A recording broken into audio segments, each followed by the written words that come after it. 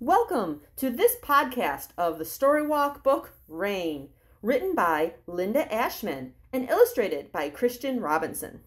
I am Ms. Emily from the Youth Services Department of the Oak Lawn Public Library.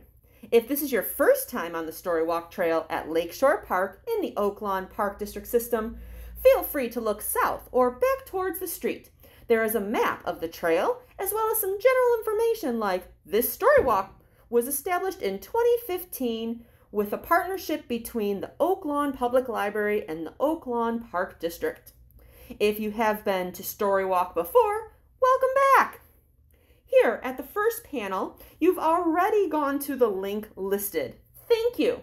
On this panel, you'll also see a reminder to scan the QR code at the end of this walk.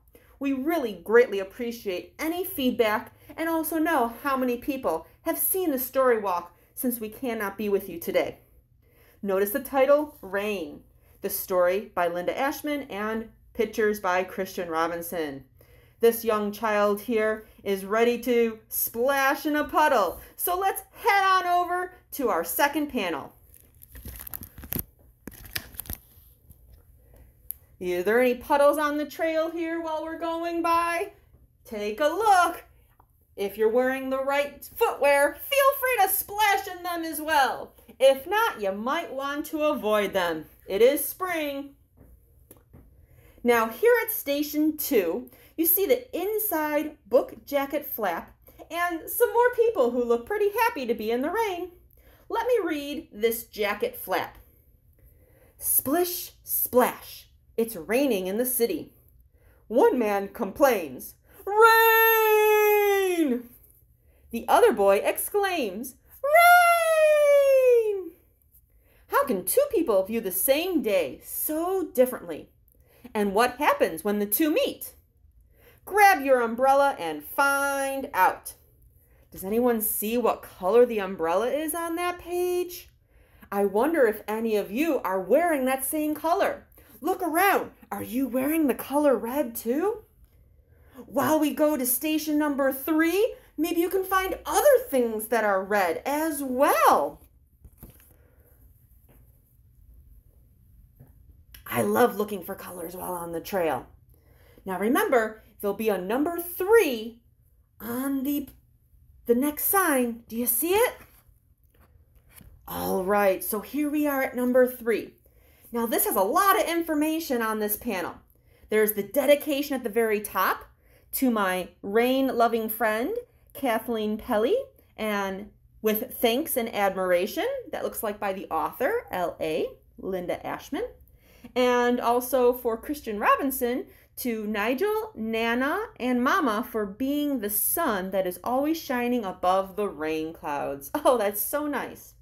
Now below that is the information for the cataloging and publishing. Um, it's sometimes referred as the SIP page.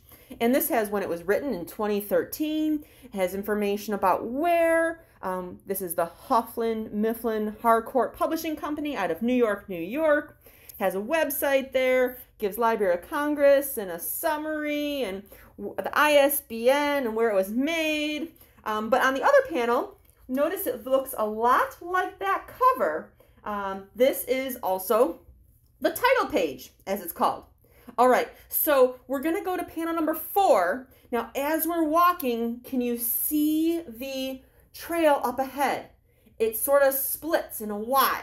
We want to go to the left. So as you are walking down the trail, you're to come up to a Y. Did everyone get there yet? I've, I've made it there, but I also take big steps. So feel free to uh, to catch on up. That's quite all right. Pause this this podcast at any time to catch on up if I'm walking too fast for you, um, or if I'm too much talking and it's slow and you're already there. You're welcome to fast forward as well. So make sure you go to the left and look for where it says number four on the post underneath the picture. Now, here, this is where the really story begins. but there's no words on this page. My, my. Do you see the two people in the building windows? There's one in that brownish gray building. Do you see that person? And then over in that mustard yellow, there's a person in one of those windows. Do you see them too? Look at all those windows on this page. I wonder how many windows there are. I'm going to count them. 1, 2, 3, 4, 5, 6, 7, 8, 9, 10, 11, 12, 13, 14, 15, 16, 17, 18, 19, 20, 21, 22, 23, 24, 25, 26, 27, 28, 29. Oh my goodness, 29 windows. Well, that's a lot of windows in this picture right here. And I see these two people in two different buildings. So let's head to panel number five.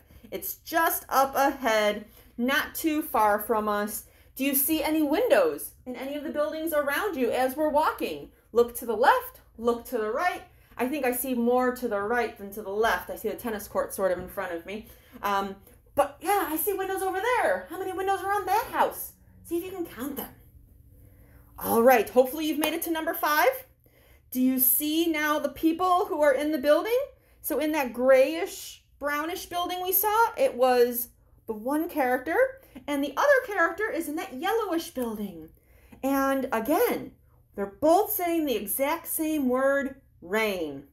But looking at their expressions on their faces, I think they sound a lot different. I'm thinking the first one is rain, scaring off those pigeons. And the other one is rain! That, that, that's my guess. Happy rain. Look at that little plant next to them. Happy, happy, happy. All right, so now we're going to go to panel six.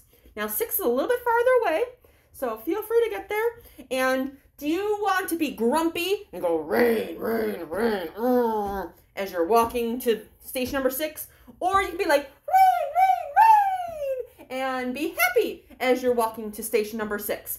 So uh, that's what I want you to do is either be happy or grumpy about rain. So use those emotions as we go to panel number six. All right.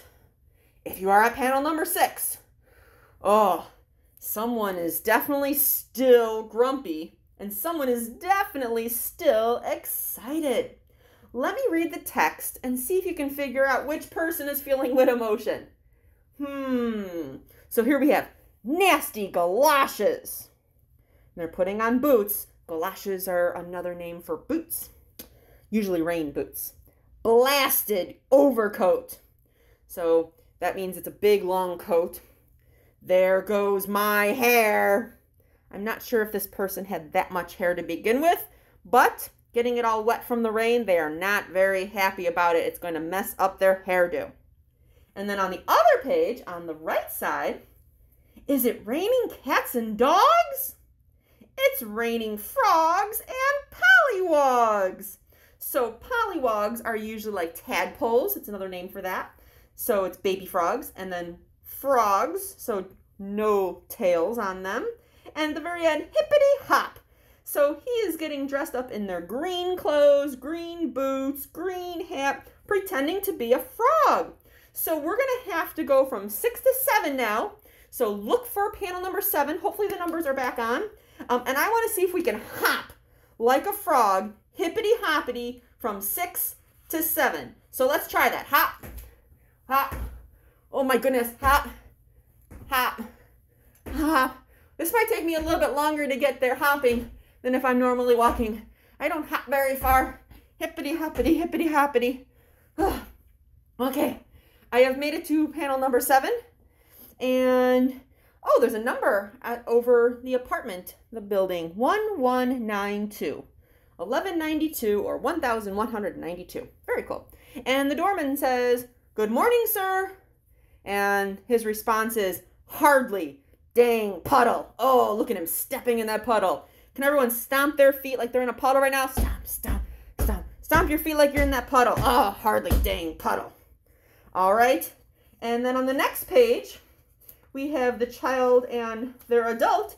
And their doorman says, Good morning, young man and he says, Ribbit! And he's hopping in the puddle. Ribbit, ribbit, ribbit. Having good fun hopping. So, again, do you want to stomp from seven to eight? Darn, dang, puddle. Or do you want to hop, ribbity, ribbity, ribbity, as you go to the puddle? It is your choice, your choose of emotions. And if you're with your family, you can, some people can stomp and some people can jump. And if other people just want to walk, that's okay too. All right, so have you made made it to number eight yet? I see the number eight on the post there. And they have gone to the daily newspaper magazine food snack stand. Okay, let's see here. The person that working at the stand says, enjoy your paper. And the person replies, humph, just more bad news. Oh, definitely not a happy camper going on here. Bad news. I know sometimes I turn off the news too. Because sometimes I just don't want to hear all the bad news over and over and over again. I like some good news. And look at all the other people in this picture. They all look a little unhappy. The baby looks like it's going to cry. Um, the adult that's pushing is like, whoo.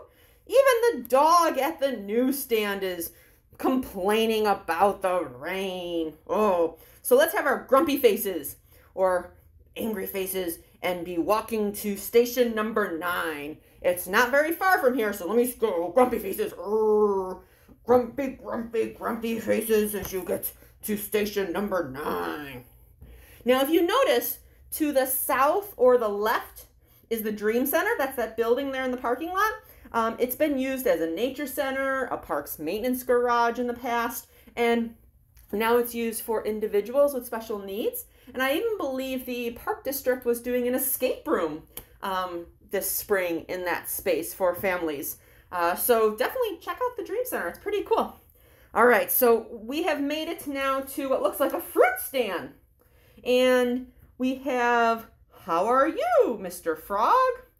Happy, happy, happy. So instead of happy, he's saying happy. He's got his hands up in the air. Look at this dog by the fruit stand. And we got the caregiver there, the adult, and someone walking that dog on a leash. That's so nice of them. And look at all the beautiful flowers in front. Let's see what types of fruit are at the fruit stand. I think I see some oranges, some pears, some apples, and I'm thinking those purple circles are maybe plums. Do you like any of those types of fruit? Point to the fruits that you would eat from that fruit stand. Hmm. Oh, that's a good choice. Now, we're going to go to panel number 10. Um, in order to do that, you're going to basically walk up forward towards the bridge and then turn to the right because panel number 10 is by the bridge, but not across the bridge. It's still on the same trail. We're going to sort of walk back where we just came from. All right, so head on over there. It's just a few steps ahead. And if you can, put your hands in the air and be happy, happy, happy as you're walking to panel number 10, just to the right of us and up ahead a little bit to the west. All right, so at panel number 10, you should see the page Rain or Shine Cafe. And it looks like both families or characters have gotten there. On the left side, we have the finally, oh, grumpy, grumpy, grumpy. And on the right side, we're here, says the child with their adult. So again, crabby on one side and happy on the other. What do you think they're going to order from the Rain or Shine Cafe? What would you like to order from the Rain or Shine Cafe if you got to pick it out? Let's head over to panel number 11. So again, we're going to sort of walk back where we just came from. So the panel is going to be on your left side the panels that we already read are going to be on your right side. So walk back where we sort of came from, up by the tennis courts a little bit there. And we're going to see what they are going to order on the next panel. But what would you like to order? So as we're walking over there, what type of things, if you went to a little cafe, what would you like to get? Would you like to get a cupcake? Would you like to get a hand pie? Uh, would you like to get an iced tea? What types of things would you like to get at the cafe? You can talk to your families if you're together and decide. So here is panel number 11. And the gentleman is asking for coffee, black. Now, I don't know about you, but I probably would not choose that, but that is their choice. And then let's see here. What did our other characters get? Cocoa and cookies, please. Ooh, now that might be something I might order. Um, so we got cocos and cookies and black coffee there. And oh, look at all those scrumptious pies and cookies they have there and cake. Oh, they gingerbread and sprinkles. Oh, so many options. So now that you can see what they have at the cafe, would you change your mind and order something else? Um, the, ooh, on the list it says chai tea. That might be what I would choose for my beverage. And we're going to go to panel number 12 next. And so I want you to pretend like you've gotten your order and you're going to be holding the tray and holding your food or your beverages. And you're going to be walking over to panel number 12. Be very careful. Don't spill. Don't spill your order. Oh my goodness gracious. Oh, okay. Now, here at panel number 12, we can pretend like we put our tray down and we can sit down at the table. And let's see here. On the left side, uh, we have the gentleman reading the newspaper that he got from the newsstand, and there's his coffee that's black. Um, and people working on their laptop computers and the wait staff there. And then on the other side, we have the child and adult uh, drinking their hot cocoa and yum, delicious. And it looks like chocolate chip cookies they got. Do any of you eat chocolate chip cookies? Oh, and now the people look like they're drinking some coffee or tea or cocoa as well. So let's go to page, or I'm sorry, not page, but panel 13. As we walk over there, pretend like you did get some cookies or you did get something to eat and drink, and you can pretend to be drinking it. As we're walking, you pretend eating it. Chomp, chomp, chomp, chomp. As we're walking over to panel number 13, be able to see what the story is going to happen. So whether it's a cookie or a piece of pie, oh, you can eat it there, and then you can drink. Uh-oh, don't spill, don't spill, gotta be careful. I know sometimes it's hard to drink and eat while walking. Good thing we're using our imaginations. All right, we've made it to panel number 13. And, oh, they're putting on their coats. Watch out. Sorry. So he apologized. They accidentally bumped into him while he's putting on his coat. Oh, and look, he says ribbit. So he's offering the cookie to the gentleman. When we look at the next panel, he's still got the cookie and he's got a grumpy face. Do you think the person wanted the cookie? No. And he looks a little sad about that. But then he looks on the floor. What's on the floor? His hat. Uh-oh, what do you think that child should do with the hat that fell on the ground? While we're walking to panel number 14, I want you to think about and, and ask, what would you do if you saw the person's hat on the ground? Would you tell the restaurant person that their hat's on the ground? Would you leave it and say, he was mean to me, I'm going to be mean to him and let him lose it? Uh, would you take it home and keep it forever and ever? Would you try to go give it to him? Uh, would you donate it to a shelter for people who need hat? What would you do with the hat? All right, if you got to panel 14, we're going to see what the child did with the hat. So the child is going and bending down and picking up the hat. And then up, they're heading out the door. So I think they're going to try to return the hat to the person who lost it. Let's see on the other, up. And, and they say, hey, wait. So they're saying, excuse me, can you please hold on a second? And he grabbed his hat. Okay, so let's go to panel number 15. Now remember, um, on this trail, we're to get to that splits area again. You want to keep on going to the left. If, you, if you're not to go back where we came from by the parking lot, you're to go over closer to 95th Street. So as we're walking to panel number 15, you might see that split up ahead. Make sure that we uh, keep to the left as we're walking. All right, so we have our hat. And here at 15, the adult goes, you? And where is the child holding the hat? Behind their back. Can you put, everyone put their hands behind their back right now? And then the child goes, You! And he's all crabby and grumpy with his hands on his hips. Can everyone put your hands on your hips and be grumpy?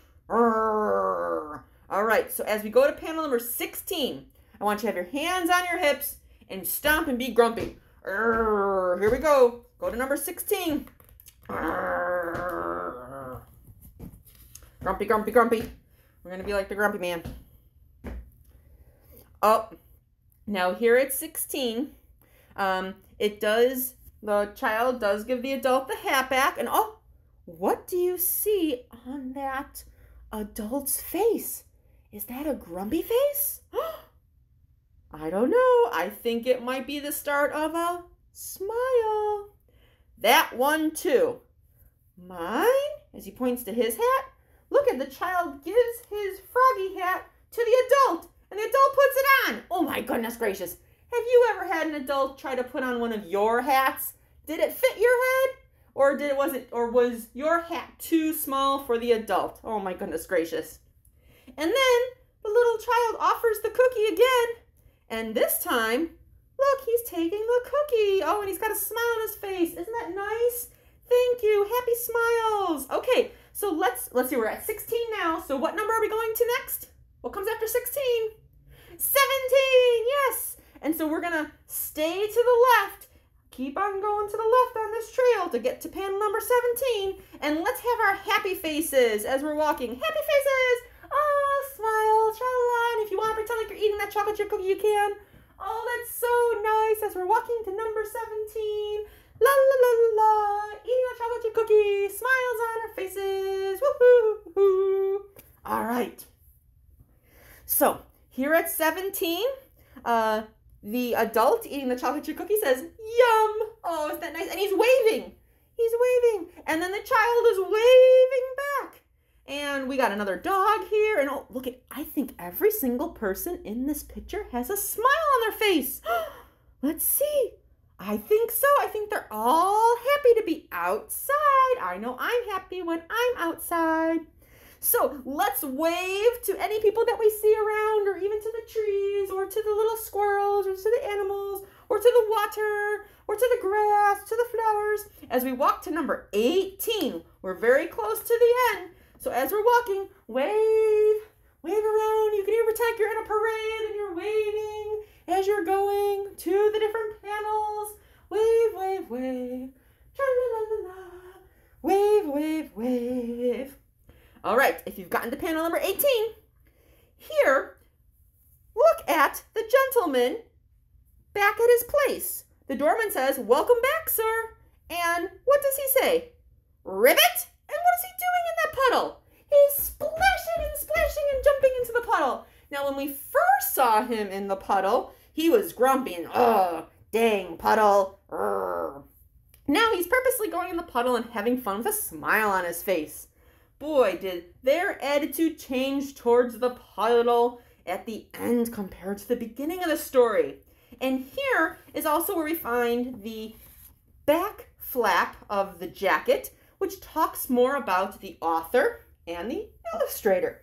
So the author, Linda Ashman, is the, um, an author of many critically acclaimed books for children, including Babies on the Go, illustrated by Jane Dyer, and Samantha on a Roll, illustrated by Christine Davenier, um, a New York Times notable children's book.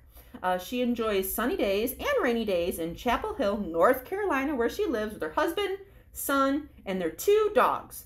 And then there's a website that if you wanted to contact her or see more of her books. Now, uh, Christian Robinson likes to stay indoors on rainy days and look out of the window while drinking a big cup of hot cocoa. He has illustrated this book as well as a few others while staying indoors on rainy days. Christian lives in San Francisco, which has more fog than rain.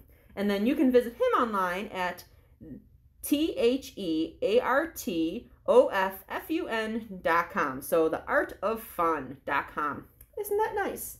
And at the very, very bottom, um, from the editor's desk, we've all seen someone walking down the street with a furrowed brow, that means sort of crinkled up eyebrows, or a brisk, angry walk that makes us give them a wide berth. That means, oh, they look very crabby and grumpy. I'm just going to let them pie, going to let them pass. Um, or conversely, we've been affected by positive, positively by someone with a cheerful smile or a sunny demeanor. That means happy, um, that's what this book is about the power of people's energy and what happens when different perspectives collide. I hope that within these pages you'll enjoy the transformative transformative power of a smile. Pass it on. And I know right, right now a lot of us are wearing masks and so it's hard to give that smile and everyone can see it, but if you're able to smile under your mask and wave hello and have a happy hello um, when you pass people, that will definitely uplift their days. So let's head to that last panel. That's number 19 at the very, very end. So walk all the way down. It's sort of near the, the, the other parking lot and close to 95th Street. It's going to still be on the left side of the trail. It's the last one. Make it on over there. You might even see where the little preschool building is. Um, if it's nice out, you can go to the playground after this, but we got to get to the last page. Get to number 19. Get to number 19. All right, we made it to the last panel. Now, we would love to hear what you thought about this book.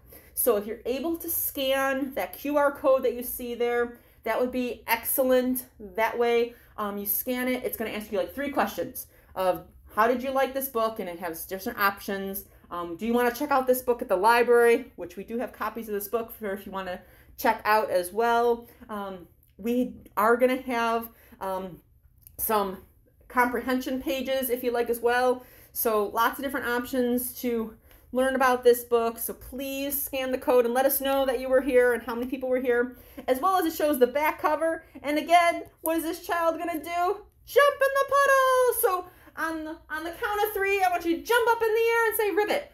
One, two, three. Ribbit! One more time. One, two, three. Ribbit! Oh, excellent. Well, it was so nice doing this podcast with you for the book Rain. Um, it will be out. This book will be out for the months of April, May, and June. There will be a new book out for July, August, September, and a new podcast as well. So hopefully you're able to enjoy this book outside. Feel free to check out a copy from the library and looking forward to future times on the trail. Bye bye, everyone. Thanks for listening. Have a great day.